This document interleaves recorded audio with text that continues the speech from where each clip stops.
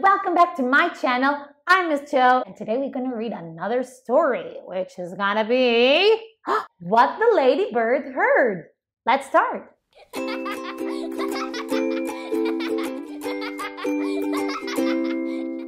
Once upon a farm lived a fat red hen, a duck in a pond, a goose in a pan, a woolly sheep, a hairy hog, a handsome horse, and a dainty dog, a cat that meowed, and a cat that purred, and a fine prize cow, and a ladybird. And the cow said, Mmm. And the hen said, Quack, said the goose, and quack, said the duck. Nay, said the horse, said the hog, bah, said the sheep, and whoop, said the dog. And one cat meowed, meow, while the other one purred. And the ladybird said never a word. But the ladybird saw, and the ladybird heard. She saw two men in a big black van with a map and a key and a cunning plan. And she heard them whisper, This is how we're to steal the fine prize cow. Open the gate at dead of night, past the horse, and then turn right. Round the duck pond, past the hog. Be careful not to wake up the dog. Left past the sheep, then straight ahead and in through the door of the prize cow's shed. Oh no! And the little spotted ladybird, who never before said a word, told the animals. This is how two thieves are planning to steal the cow. They'll open the gate at dead of night, past the horse, and then turn right. Round the duck pond, past the hog, being careful not to wake up the dog, left past the sheep, then straight ahead and in through the door of the prize cow's shed. And the cow said, Moo! And the hen said, said the goose, and quack, said the duck.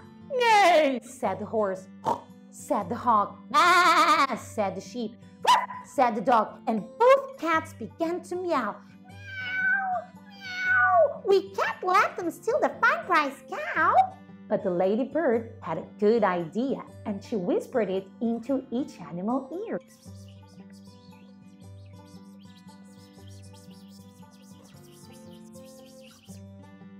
At dead of night, the two bad men, Hefty Hugh and Lanky Len, opened the gate while the farmer slept.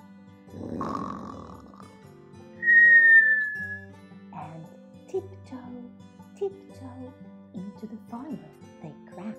Then the goose said, Nay! with all her might. And said, That's the horse! Turn right! Then the dainty dog began to quack, quack! The duck, said Hugh. We're right on track, said the cats. There goes the hog. Be careful not to wake up the dog. Ma, ma, said the fat red hen. The sheep, we're nearly there, said Len.